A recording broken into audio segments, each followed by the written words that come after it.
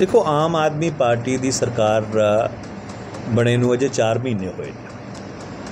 ਔਰ ਲੋਕਾਂ ਨੇ ਉਹਨਾਂ ਨੂੰ ਇੱਕ ਬਹੁਤ ਭਰਵਾਂ ਹੰਗਾਰਾ ਦਿੱਤਾ ਹੈਗਾ। ਔਰ ਮੈਨੂੰ, ਮੇਰਾ ਇਹ ਮੰਨਣਾ ਹੈ ਕਿ ਹਰ ਸਰਕਾਰ ਨੂੰ ਕੰਮ ਕਰਨ ਦਾ ਮੌਕਾ ਦਿੱਤਾ ਜਾਣਾ ਚਾਹੀਦਾ, ਪੂਰਾ ਮੌਕਾ ਦਿੱਤਾ ਜਾਣਾ ਚਾਹੀਦਾ। ਪਰ ਜਿੱਥੇ ਤੱਕ ਕਾਨੂੰਨ ਦੀ ਸਥਿਤੀ ਹੈ, ਜਿਸ ਤਰ੍ਹਾਂ ਦੀਆਂ ਮਨਭਾਗੀ ਵਾਰਦਾਤਾਂ ਪਿਛਲੇ 3-4 ਮਹੀਨੇ ਚ ਹੋਈਆਂ ਨੇ, ਸਰਕਾਰ ਨੂੰ ਚੁਕੰਨੇ ਰਹਿਣ ਦੀ ਲੋੜ ਹੈਗੀ ਹੈ। ਕਿਉਂਕਿ ਦੇਖੋ, ਪੰਜਾਬ ਦੀ ਜਿਹੜੀ ਅਮਨ ਸ਼ਾਂਤੀ ਹੈ, ਉਹ ਕਿਸੇ ਇੱਕ ਸਿਆਸੀ ਪਾਰਟੀ ਦੀ ਬਪੌਤੀ ਨਹੀਂ ਹੈ।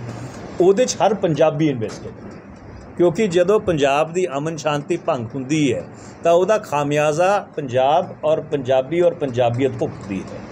ਔਰ ਇਸ ਲਈ ਇਸ ਸਰਕਾਰ ਨੂੰ ਮੈਂ ਪਹਿਲਾਂ ਵੀ ਇਹ ਸਲਾਹ ਦਿੱਤੀ ਸੀ ਕਿ ਅੰਡਰ ਨੋ ਸਰਕਮਸਟੈਂਸਸ ਜਿਹੜੀ ਪੰਜਾਬ ਦੀ ਅਮਨ ਸ਼ਾਂਤੀ ਹੈ, ਚਾਹੇ ਉਹ ਉਹਦੇ 'ਚ ਗੈਂਗਸਟਰਸ ਦਾ ਰੋਲ ਹੋਵੇ ਜਾਂ ਜਿਹੜੇ ਬਾਰਡਰ ਪਾਰ ਸਾਡੇ ਪੁਰਾਣੇ ਦੁਸ਼ਮਣ ਬੈਠੇ ਨੇ, ਜਿਹੜੇ ਪੰਜਾਬ ਦੀ ਅਮਨ ਸ਼ਾਂਤੀ ਭੰਗ ਕਰਨ ਦੀ ਪੂਰੀ ਕੋਸ਼ਿਸ਼ ਕਰਦੇ ਰਹਿੰਦੇ ਨੇ, ਚਾਹੇ ਡਰੋਨਸ ਭੇਜ ਕੇ, ਚਾਹੇ ਹੋਰ ਤਰੀਕੇ ਨਾਲ, ਇਹਨੇ ਸਾਰਿਆਂ ਤੋਂ ਬਹੁਤ ਚੁਕੰਨਾ ਰਹਿਣ ਦੀ ਲੋੜ ਹੈ।